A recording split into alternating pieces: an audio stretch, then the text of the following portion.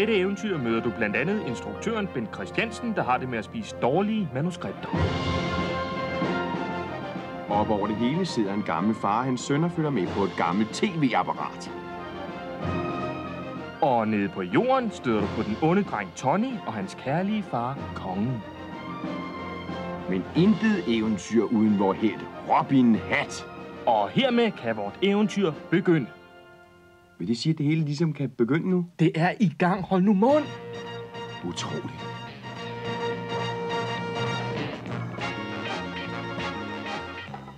God aften og velkommen til programmet, som vi af en eller anden grund har valgt at give den tåbelige titel, fortsættelsen af den dramatiske serie.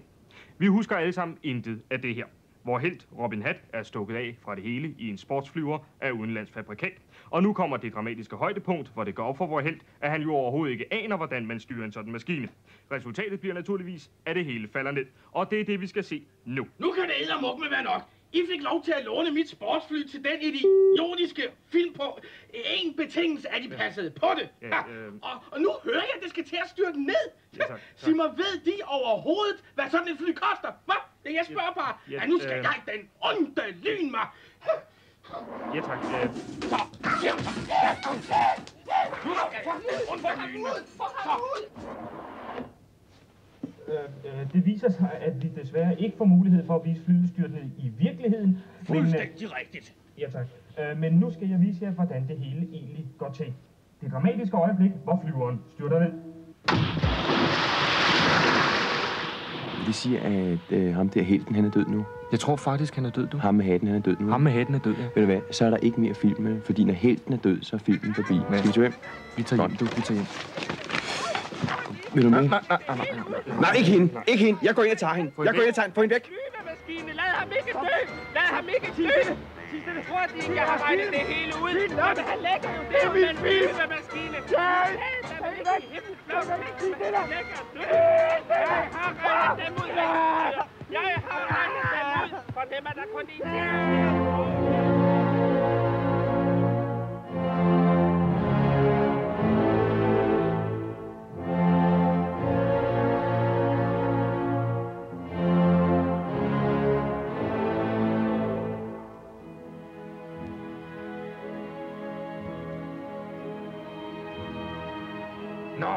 du endelig. Øh, ja, far.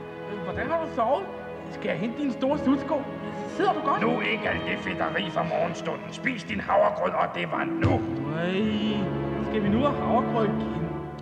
Det fik vi også i går, og dagen før i går, og to dage før det, og Så er det den underlyn mig nok. er der overhovedet ingen cornflake. Sig mig, ved du overhovedet, hvor langt din far har til købmand? Nej. Nå, men jeg har altså meget langt der som cirka 8.000 km. Og hold så op med at vinde på din stol. Sid så ordentligt og spis din mad.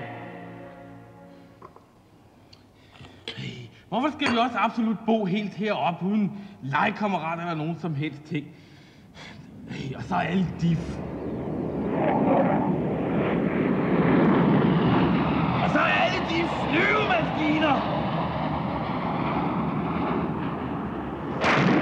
Det har vi jo diskuteret tusindvis af gange. Hvad i himlens navn vil du have, jeg skal gøre? Det er umuligt at skaffe en lejlighed nu om dagen, ikke? Før i tiden kunne du da altid finde på et eller andet.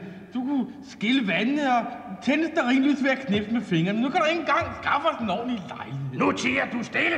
Du ved udmærket godt, hvor brændende jeg ønsker mig en ordentlig lejlighed eller et hus med bad og altan. Tror du ikke, jeg i alle disse år har drømt om et brusebad om morgenen? Et køleskab, hvor maden kunne holde sig frisk? Eller et komfur, så man bare for én gang skyld kunne få lidt varm mad til aften? Hvad? Forestil dig, forestil dig at skrue op for dit eget varmeapparat på en kold vinteraften. Slut med polyper, ondt i halsen og diarré.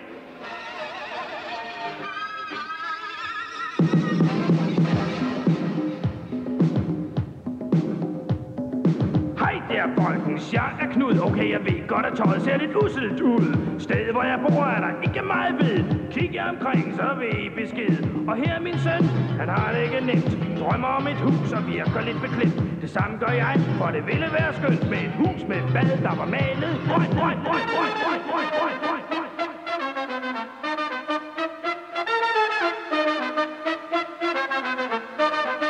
Tænk jer venner, et skab med kø sofaen svømme pøl Til hunden en kur med kødben i For det er noget min vorse kan lide, kan lide, kan lide, kan lide, kan lide, kan lide, kan lide, kan lide.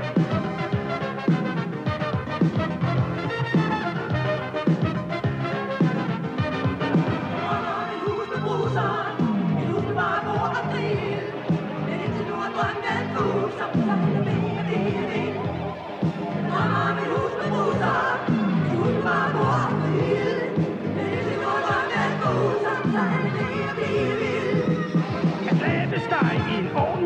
Bare tanken om en bøf gør mig ganske vild. En stegt tomat, lidt frisk salat. Wow, det her får mig snart et spagat Når vinden hyler og sneen fyr Så er der koldt i de fleste byer. Undtagen hos mig, hvor jeg sidder rart Med pladerne plattet på mit varme apparat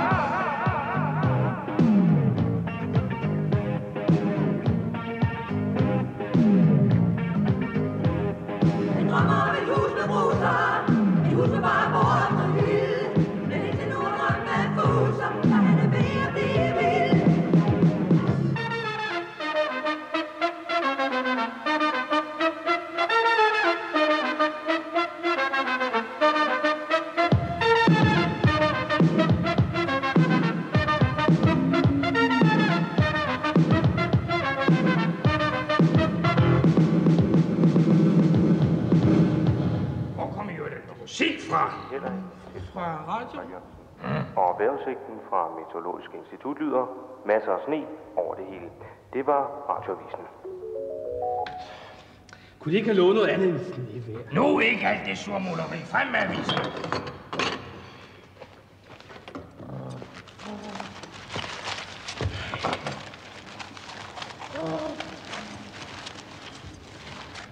Også lidt til Fyn, også lidt til Fyn. Men tro mig, herr instruktør, jeg har luret dem, lille gemene lurendrejer. Jeg kender deres slags.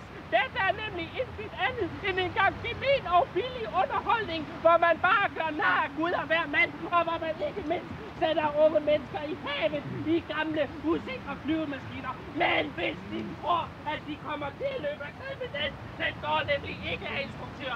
Og jeg kan godt at de får mig på det ikke så let, er den bedste den her instruktør. Jeg vender tilbage i filmen på det mest spændende afsnit. Har de forstået? Hurtigt, videre!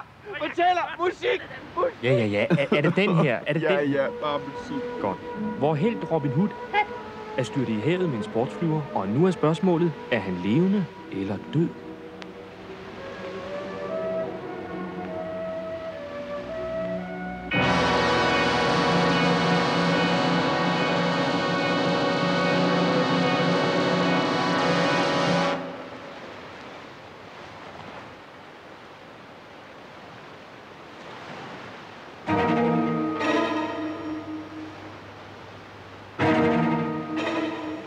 Skal der absolut være en mand med bagerhat, der redder? En mand med bagerhat. Ja, kan du ikke se, det er en bagerhat? Ej, hold nu op, ikke? Det er lige midt i det allermest spændende. Det er da ikke spændende. Det bliver det. Robin er reddet, eller er han taget til fange. Og hvem er den fremmede? Er det en ven eller en fjende? Nu begynder den fremme en sælsom historie. En mystisk beretning, der lyder som et eventyr fra gamle dage.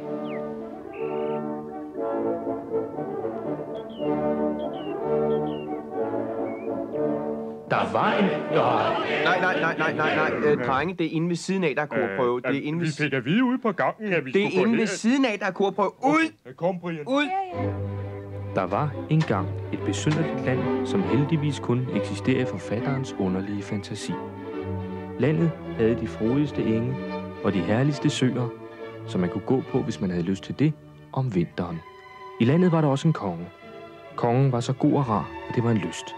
Faktisk var kongen så sød, at man kunne tappe den herligste sodavand af hans sokker.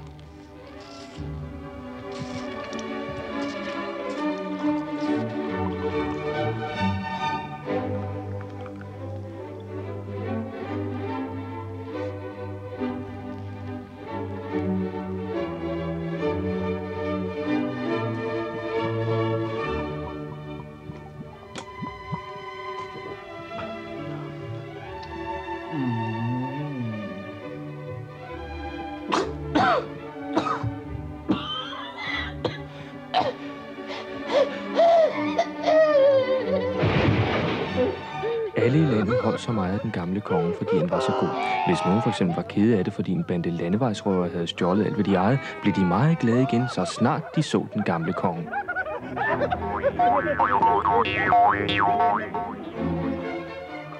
Alle i landet var glade, fordi kongen var glad.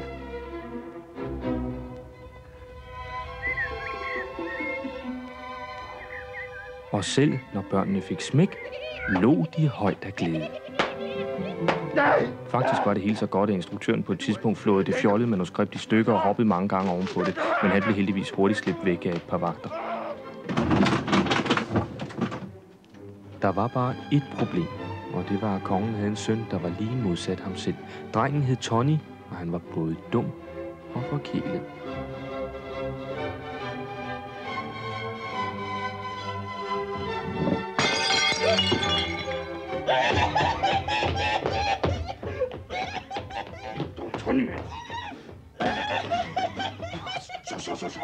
Tit sad Tony bare hjemme hele dagen foran sit farvefjernsyn og så alt, hvad der var på skærmen. Og fik sin far til at skifte programmer for sig. Okay, jeg siger det alligevel. Hør nu, sig. Så sig det. Øh, Jeg skal lige tænke mig om. Øh, Der bliver virkelig gået ting i øjeblikket her på Nej, det er jo det bliver, det bliver vi. Ja, den ser vi. Sverige! Nej, toeren! 24 grader på eftermiddagen. Hvad med det der? Ja. Det? Över norra Sverige drar ett svagt regnväder bort österut. och- Nej, videre. Hey, det går for hurtigt, jeg har ikke fulgt med. Men det er umuligt. Selvfølgelig var det ikke særlig godt for Tony at se fjernsyn dagen lang, men han havde en eneste gang våget sig uden for slottets beskyttende mure, for at se om verden lignede sig selv. 5 for 50. 5 for ingenting. Men da folk fik øje på ham, døde de af skræk.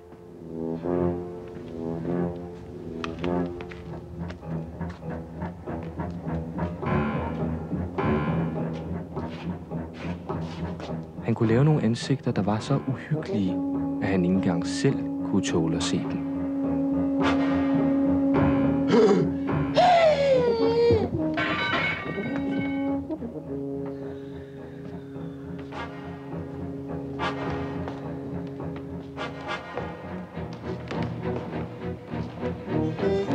Udover Pelinese, elskede Tony at gøre vagterne på slottet bange.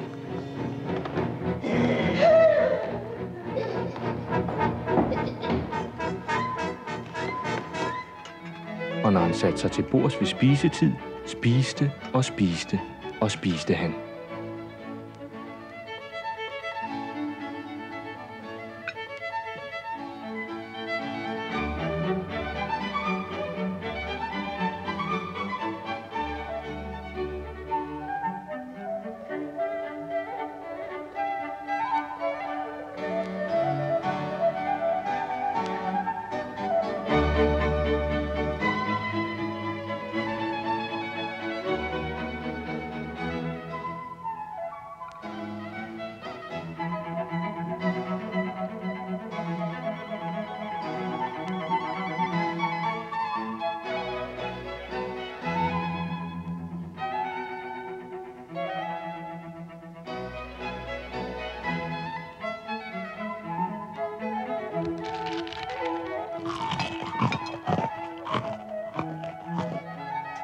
Det værste ved det hele var, at kongen var nødt til at overlade kronen til Tony.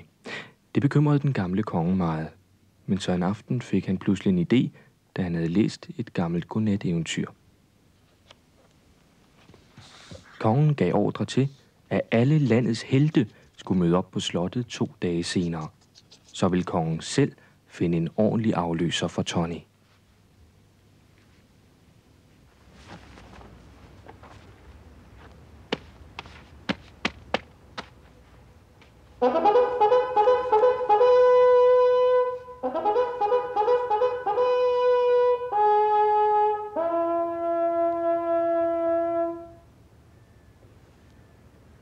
Men Tony havde regnet det hele ud og var meget sur. Deres valgte værdigheder! Landets helte er ankommet! Udmærket. Øh, Send dem ind. Smid dem på porten. Så, så, Tony Mense, tænk på, hvor langt disse folk har rejst. Send dem ind.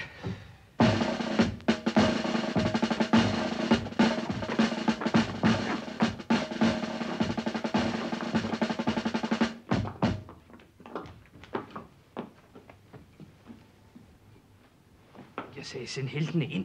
Deres værdigheder! Det var de eneste, der meldte sig!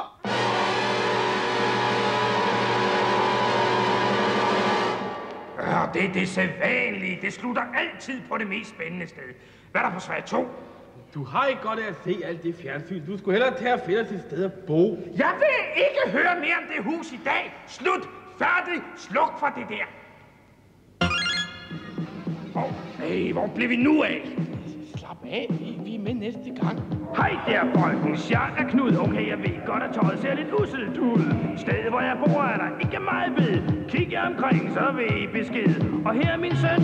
Han har det ikke nemt. Drømmer om et hus og virker lidt beklemt. Det samme gør jeg, for det ville være skønt med et hus med bad, der var malet. Grøn, grøn, grøn, grøn, grøn, grøn, grøn, grøn,